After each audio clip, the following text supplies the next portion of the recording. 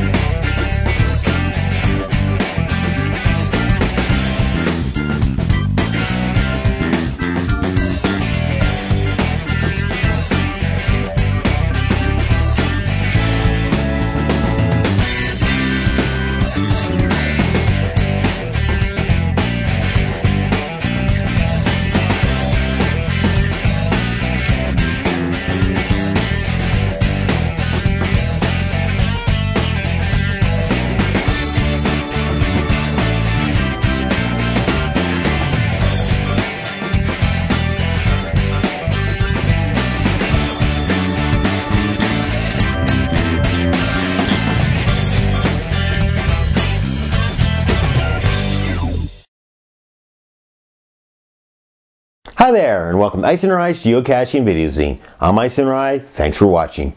If you're new to the show, welcome to the family. What this is is me and my video camera. I go out caching, film it, throw it together with a few hints, tips, and tricks, upload it to the internet so you can download or watch it to your own leisure. If you're a regular viewer, thanks for sticking around. I appreciate your viewership. So, what's new? Well, back in July, I had two weeks of vacation and had a wonderful time. I did lots of caching, and the highlights of caching was my 500th find, the Palamino Cache in the Williams Lake area, located on a really great free riding trail. If you're a free rider, make sure you check out Williams Lake. They have lots of great trails.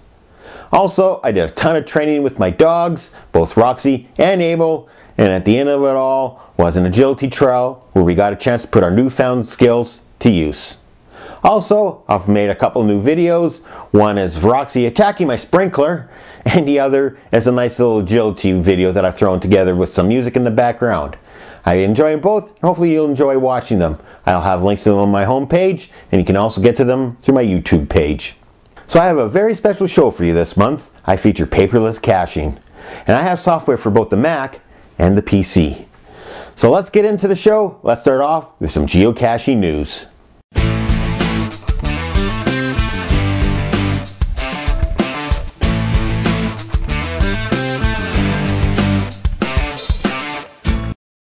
So what's new in the world of geocaching?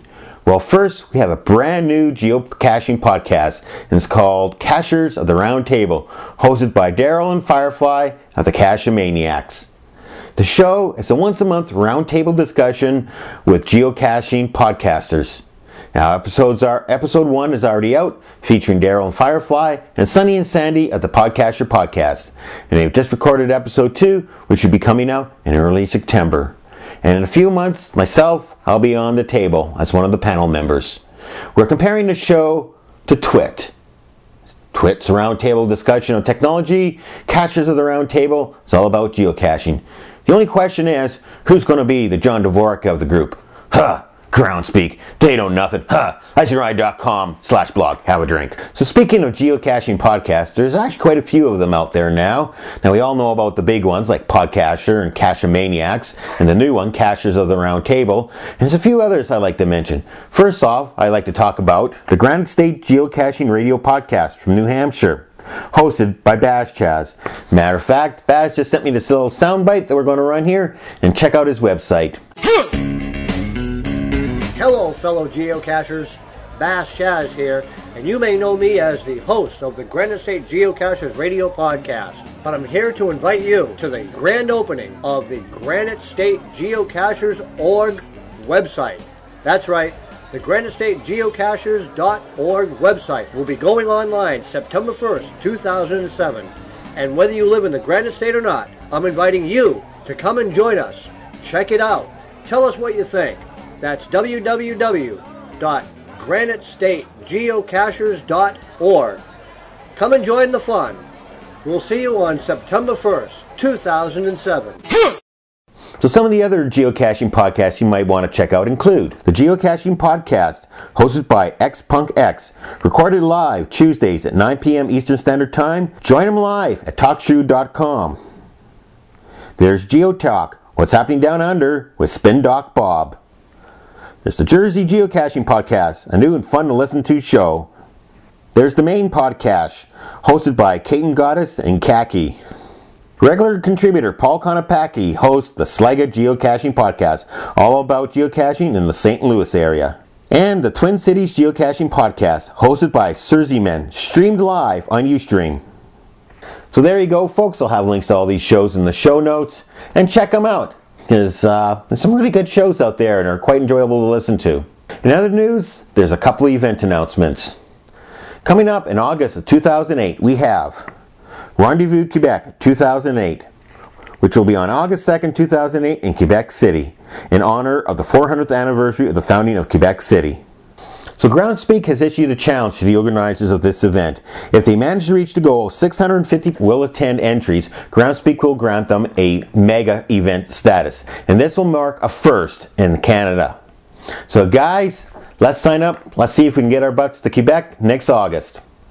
In other event news, we have Northumberland County GeoBash number 2 in Pennsylvania coming up on August 26th. So I know it's a bit short notice, but if you're anywhere in Pennsylvania, go check out the event. It should be a lot of fun. So lastly in news, I recently received this email from regular viewer Humphrey, which contained a picture he had obtained through well, he didn't exactly tell me what his source was, but he said it's a possible geocoin that could be coming out here in the near future and if I knew anything about it. And I took a look and I know nothing about this coin. I know nothing about it.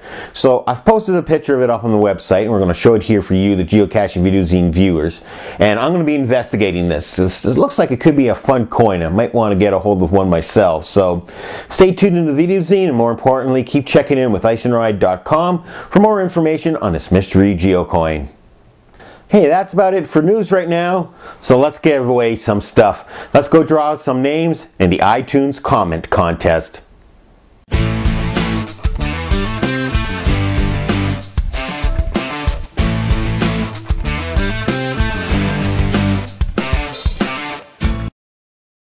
All right, time to give away some stuff. Time for the iTunes comment contest. To enter the contest, simply go to iTunes and leave a comment for Icenrye's Geocaching Video Zine. And your choice for prizes are either a season 1 and 2 box set or a choice of one four geocoins.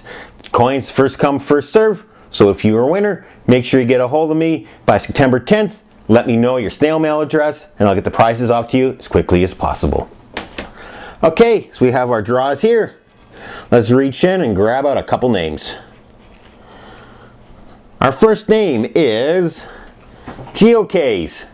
Congratulations. Next we reach in and we pull out GSGCR radio host. Granite State radio host. Congratulations guys. So email me, geoicenrye at icenrye.com with your prize choice. Unfortunately, Roxi is not one of them. I'm keeping her. Right, Roxi? Anyways, email me, let me know what your prize selection is, and we'll get it off in the mail as quickly as possible. And keep those comments coming on iTunes. I really appreciate it. Hi. Hi. Alrighty. Let's go check out some YouTube geocaching videos. What? What? Yeah, I like them too.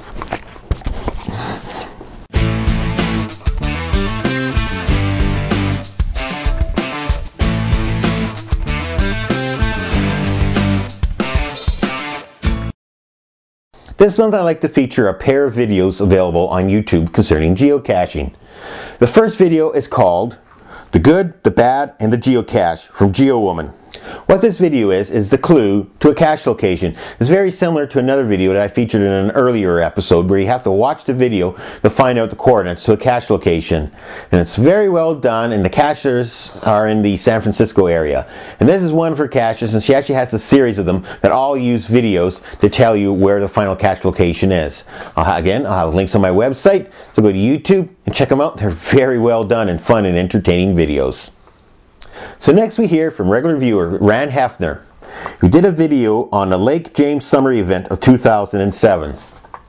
And he's done a couple versions. One is just a picture slideshow set to music, and the other is an actual video. And they're both fun to watch, and it's really great to see geocaching in other parts of the country and what people do.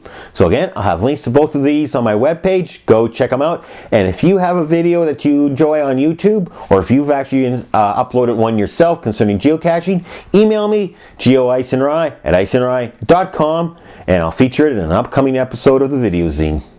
Well, that about wraps it up for the preliminaries. Let's get on with the main event. So one of the most requested segments is paperless caching.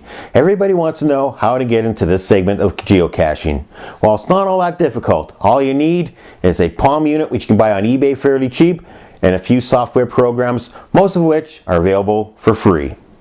In this tutorial, I feature software for both the Mac and the PC, and then I go into the actual Palm Pilot. Now the programs being featured for the Mac are MacCaching and MacCMConvert. For the PC, I'm using GSAK. And once it all comes together, I'll finally have my tutorial on CacheMate, a very useful, incredibly powerful program and well worth the investment. So sit back, grab a drink, relax, enjoy this tutorial on paperless caching. So welcome to Paperless Caching Revisited. If you remember way back when in episode 2 I did a tutorial on paperless caching using GSAK and a program called Plucker. Now that particular tutorial was for the PC only. And since then a few things have changed. First off, I now have a Mac. As a matter of fact, you're looking at a screen right now. And I've become a big fan of another program called CacheMate. Now I've was using CacheMate back when I did the first tutorial, but I just started using it. I wasn't overly familiar with it. And now, after a year or so of using it, I've become a really good fan of the program. Now, for those of you that are still using Plucker, absolutely nothing has changed on it. So if you want to know how to use Plucker, just roll back to episode 2. The tutorial in there works just fine. However, we're going to start with the Mac side of things. Now, for the Mac, the two main programs I'm going to use, one is called MacCaching.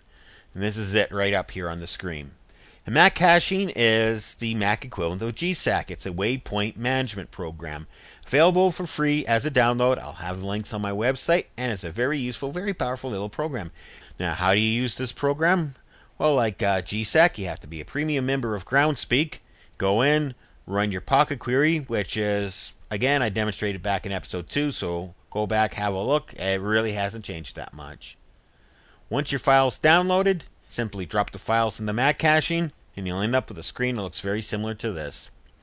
You'll see up here a total listing of caches at 521. And those contain 500 caches that come through my Pocket Query and 21 what they call kitty caches, which are parking spots and trailheads and such. You have various columns up here, and it's all adjustable. As a matter of fact, you can't see where I'm clicking on View, you can bring up an options bar here where you can add different categories. And I see one that I don't have listed is distance. So I can click here, go on distance, click OK, and it now adds this distance file. And you can sort by distance. So anyway, so now we have our caches into our, into our waypoint management program. What's next? Well, generally you want to put them onto your GPS. You simply type down, click down here to GPS and I'll bring this up and I'll ask you whether you want to send your entire library or just a particular cache list. So if I only want to send the 500 waypoints without the kitty points, I simply send this. If I only want to send the parking spots, I click this. But in this case, I'm going to ship the entire library. Connection, mine's connected through a USB port. In the protocol, it's a Garmin. Now, this is a brand new feature. It's just been added to this version of uh, MacCaching. Is it'll export a CacheMate file. So I'm going to click on that and we're going to have a look at that in the next segment of our uh, tutorial here. And if I had the uh, Palm software attached to this Mac, I could actually get it to uh, import directly to the Palm, but I don't. So we're just going to leave this unche unchecked for now. And also, a really great feature about MacCaching is that you can use your actual, if you have an iPod, you can use your iPod contact list for your paperless caching. It'll take everything and download it onto your iPod. So anyways, we're just going to go ahead and click OK. And it's going to go off. Now, the first thing it says is it contains more than 200 caches. That's a throwback to some of the older older machines. My old Magellan, for example, could only hold 200 waypoints. In case of the Garmin, it can hold 1,000, so 200 is not a problem, so we can just click on yes. And off it goes. So this takes a little while, so we'll just fast forward things and we'll come back when we're done. Alright, so the waypoints have been transferred to my GPS receiver, and now it comes in and asks me, would you like to import these into the HotSync Manager? Right now I don't have the HotSync Manager set up, so I'll click no. So now it's asking where should the V card go. It's asking me for a name of the file to import onto my PDA. So I'm going to call it Mac Cache Test.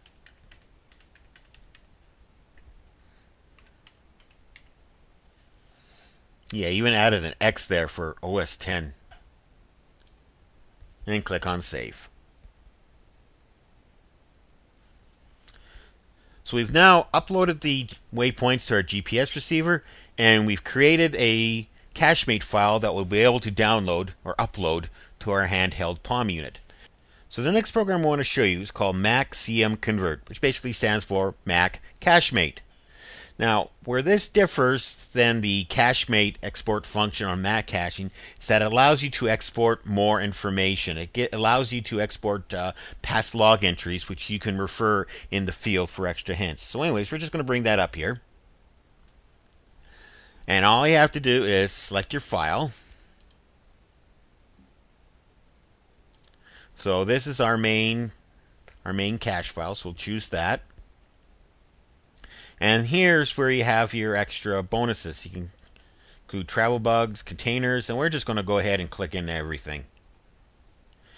And then you have the number of logs to include. More logs, the merrier. So just click on 10. It's just space. So we click all that. Now again, we have a send to PDA. Now I don't have my PDA attached to the Mac, so we're going to click on the Save As. We'll come up, and then we'll just enter our name here.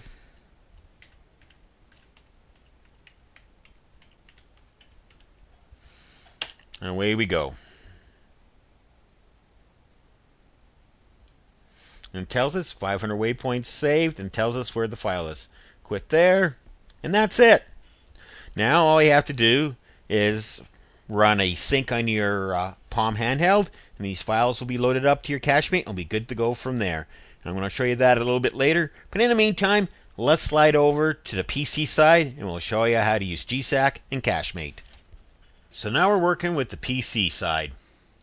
The most popular program for waypoint management with the PCs is GSAK, Geocaching Swiss Army Knife, which is available for free from gsak.net. However, after 21 days, you will be presented with a nag screen, as the developer likes to call it, and the suggested donation amount for the program is $25 in U.S. funds. Now, having used this program since pretty much day one of geocaching, I really believe it's worth it. It is a very good waypoint management program. So, what do we do with it? Well, again, not much has changed since episode 2. Go to gc.com, enter your pocket query once it's downloaded you can just take the whole zip file and drop it right in the GSAK as I've just done here. Hit OK, and away we go. So once your waypoints are entered, you'll be presented with a summary just simply telling you how many waypoints were added, how many what they call the child waypoints. Again, those are the, the parking spots and trailheads and such. Now again, the layout is fairly similar to Macacher, where you have your PC, your uh, GC code, your name, your terrain difficulties. Now, what can this program do? It can do a ton, and I can spend an entire show just on GSAK, and in the future, I'll get into some of the other features that this program is capable of doing. For now, for the purpose of this tutorial, we are just working on CacheMate, paperless caching, and waypoint management. So once you have your waypoints entered, the next thing you want to do is send them to your GPS. Again, very simple. You simply click on GPS, send when waypoints, or if you have one of the new Magellan Explorers, you click down onto here. And they've just added uh, support for the Lowrance line of GPS receivers. Uh, brand I haven't spoken of much on the show before. It's always been either Magellan or Garmin. However, I'm starting to get a lot of fan mail from the Lowrance fans out there. So I'd like to get my hands on one someday just to see what they're like. So what we're going to do is go to GPS, we'll go to send waypoints. And again, it gives you a variety of stuff you can do. It's a variety of uh, points you could add in. Make sure you click on uh, the setup into your brand. Mine is a uh, USB, so I click here. It has a thousand maximum. Click on OK, and away it goes. So once that's done, you want to now set up the waypoints to export or import into Cachemate. For that, it's very simple. You simply go to File, Export, and right here you'll see where it says Cachemate PDB file. Click on it. So first it's going to tell you where to, to send it. And we'll just go with a, uh, believe I've created a folder here.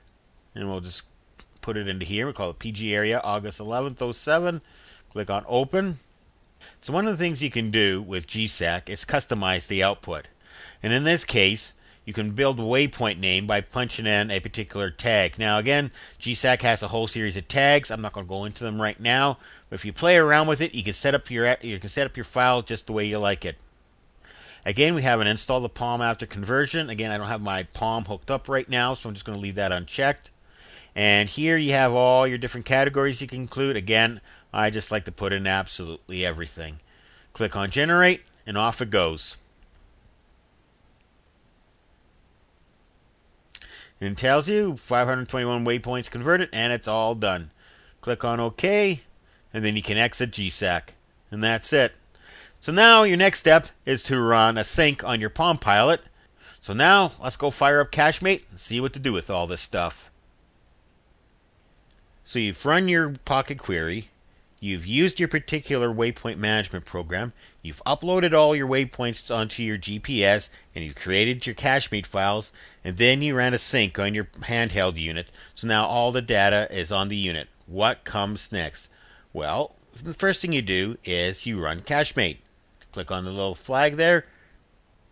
Now, when you import data into Cachemate, the first thing it's going to do is come, come up with this category, this uh, screen. Select import category. And I'll tell you the name of the file. Now, this is PG area August 11. So this is the file that was generated by GSAK. And I'll go through and I'll import the files from the different programs so you can see the similarities and differences. Now, database, it always goes to default. I haven't quite figured that one out yet. However, for category, you have all these various categories founds, not founds, owns, unfilled, and edit categories. Now, if you want to get picky, you can go into Edit Categories, and you can actually create a new category. I'm going to call this one PC Caches.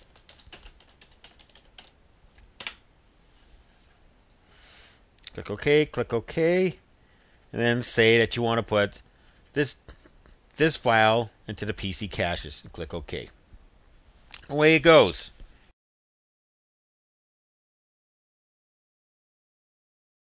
After it's done, tells you everything was all merged together and you're good to go. Press OK.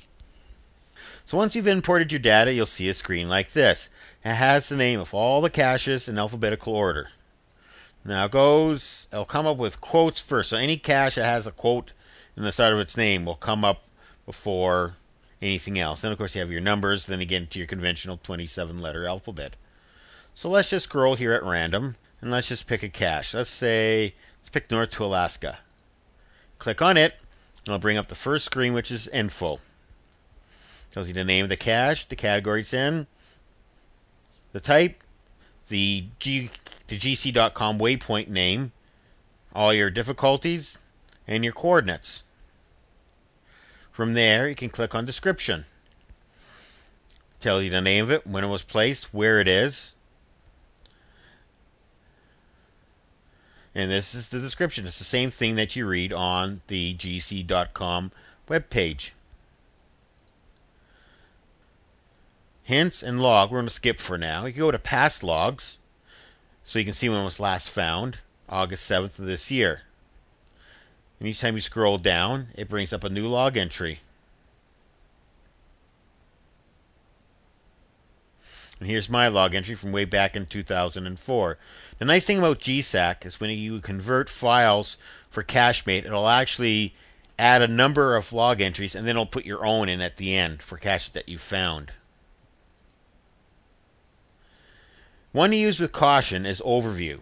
Because what overview does, it gives it shows you the info, the description, and it throws the hints in. So if you want to read everything, including the extra hint, then you go straight to overview. Because as you can see, here's all the, the info screen, here's the description screen, and when we get down to the bottom, here's the hint screen.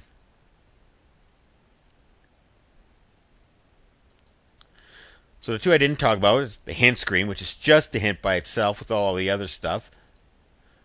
And finally is the log screen. And this is where CacheMate really earns its keep. Once you get to the cache site and you've found it and everything, you simply click on here for found. And what will next is you click on mark time. And it'll ask you, mark current time as the start or end of the hunt. I always click on start. And you click on that and it'll automatically insert the date and it'll automatically insert the time of when you found the cache. Now down here, it gives you an area to enter notes. So you can say took. Well, I took something.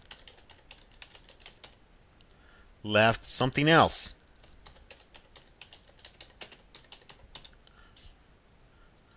Travel bugs if there's any travel bugs.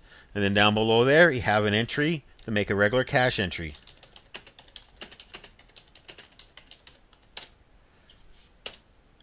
Spelling mistakes included.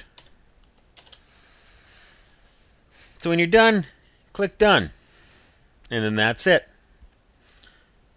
Now if you go up here to your categories, you go down your found categories, you'll see where it has North Alaska. It's now listed in your found categories. So, what's next? Well, usually with your GPS receiver, you can do a search for geocaches from where your current location is, and it'll tell you where the nearest cache is. Well, CacheMate can actually help you do that.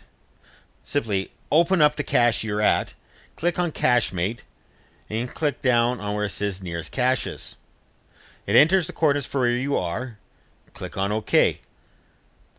Category. Since we're doing the PC caches, we'll only pick the ones in that category. You can put a distance, the maximum number of records, but there's only 500, so it doesn't take that long to sort, and click on OK. Now it's going through and sorting out all the caches and computing the, computing the distance. So this tells you that the closest cache is the Canada theme cache, and next to that is my key to a good cache. Well, that sounds interesting. So we'll click on that, go down, waypoint name, how far it is, where it is, and degree, and all this is from this point. So click on go, and it takes you to that cache.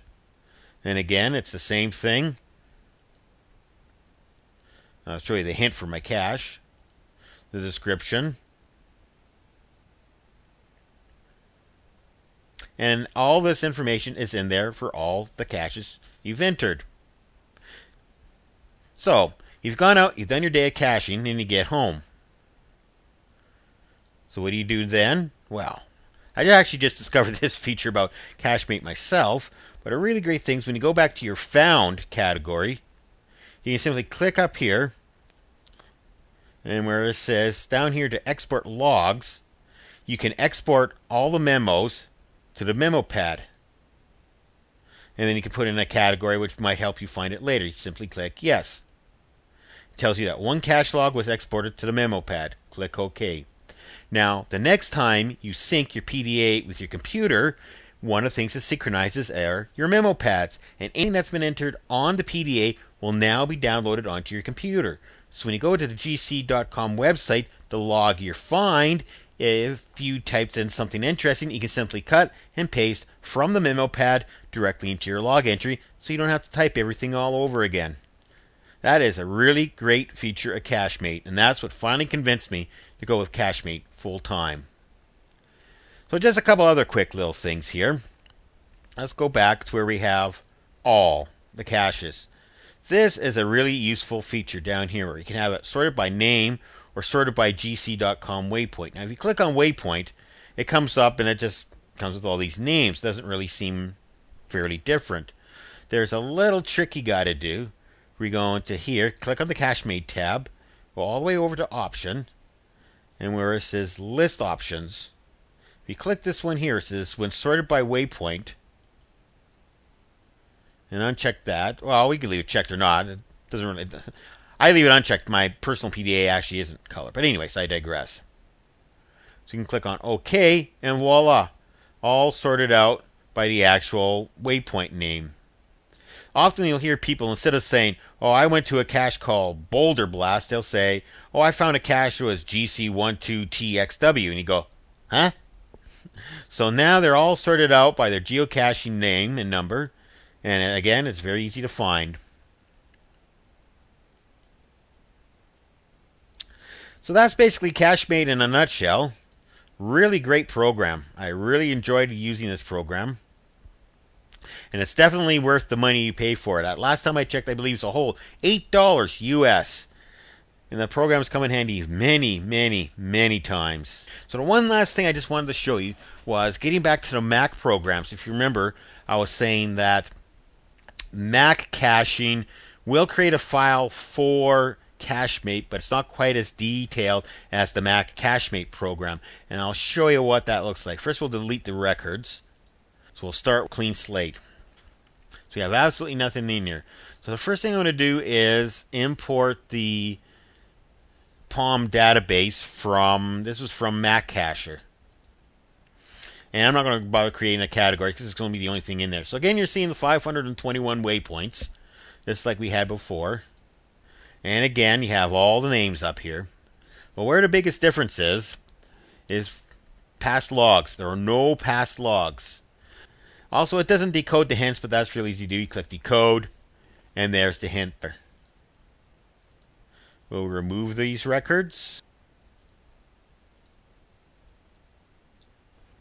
And we'll import the file from the CacheMate for Mac. Now this one I didn't bother adding the child point, so it's only 500 as opposed to the 521. But again, all alphabetical order, very similar to what you saw with the GSAK program. You can click on the details, and this has the past logs. But the hints still stay decoded or encoded. But again, you have your decode button, click, and it's done.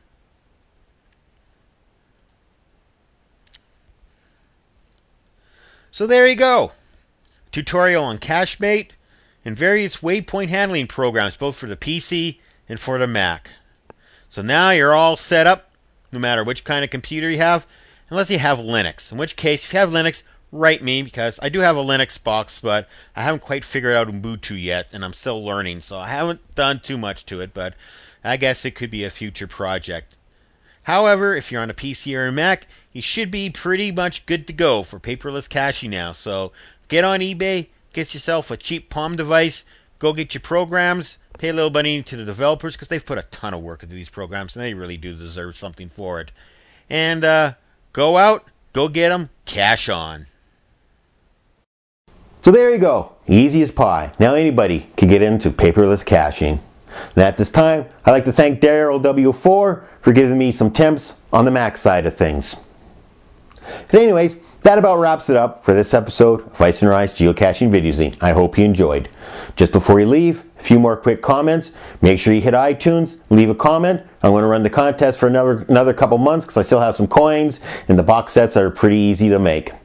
And also, if you upload a video to YouTube, let me know, and I'll feature it on an upcoming episode of Icenrye's Geocaching Video Zine. And also, if you have a video contribution and you actually like it featured on the show, let me know, and we can make arrangements on how you can get your video to me. Anyways, in the meantime, and in between time, that's it. Another episode of Icenrye's Geocaching Video Zine. So until the next episode, cache on.